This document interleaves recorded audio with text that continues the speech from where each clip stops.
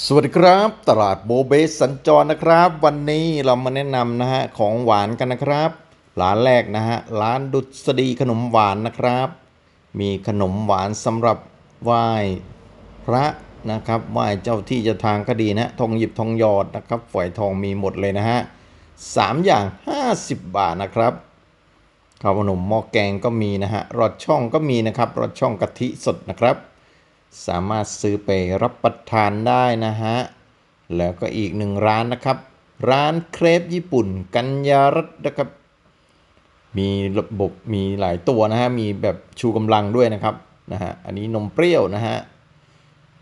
อันนี้สำหรับปั่นนะฮะ เป็นแก้วนะครับ มีแบบชูกำลังนะครับ M100 ก็มีนะครับ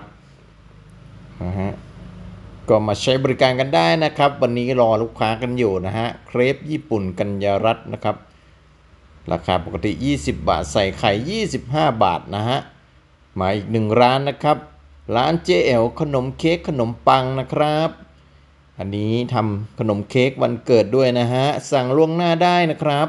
นะฮะขนมปังนะครับ มีหลายแบบเลยทีเดียวนะทำเองนะฮะอบเองเลยนะครับนะฮะวันหนึ่งวันหนึ่งใช้ไข่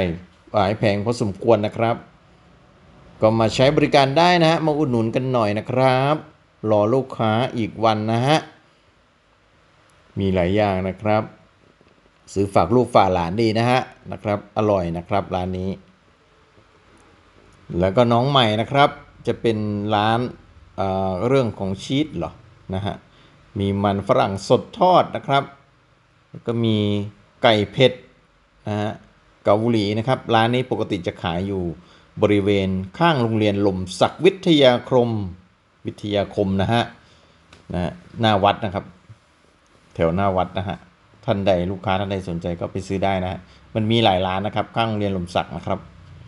ก็ร้านนี้เป็นน้องใหม่นะครับ ก็น่าจะมาประจำมาขายก็วันเสาร์วันอาทิตย์อย่างนี้นะฮะนะครับวันหยุดนะครับ ถ้าวันปกติเนี่ยก็จะไปประจำอยู่ข้างเรียนหลมศักดิ์นะครับ